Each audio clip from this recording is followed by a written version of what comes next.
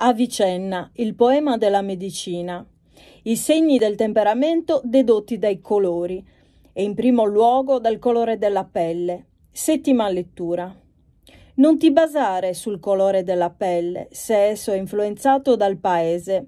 Per gli Zhang, l'ardore del clima ha modificato il colore del corpo, sì che la loro pelle è rivestita di nero. Gli slavi sono diventati invece così chiari da essere d'un bianco scintillante.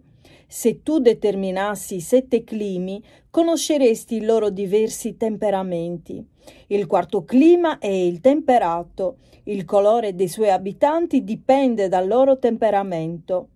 Il colorito giallo è dominato dalla bile, quello bruno scuro dalla trabile.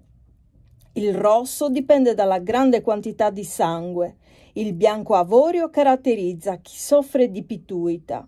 Il bianco misto rosso è il segno di un temperamento bene equilibrato.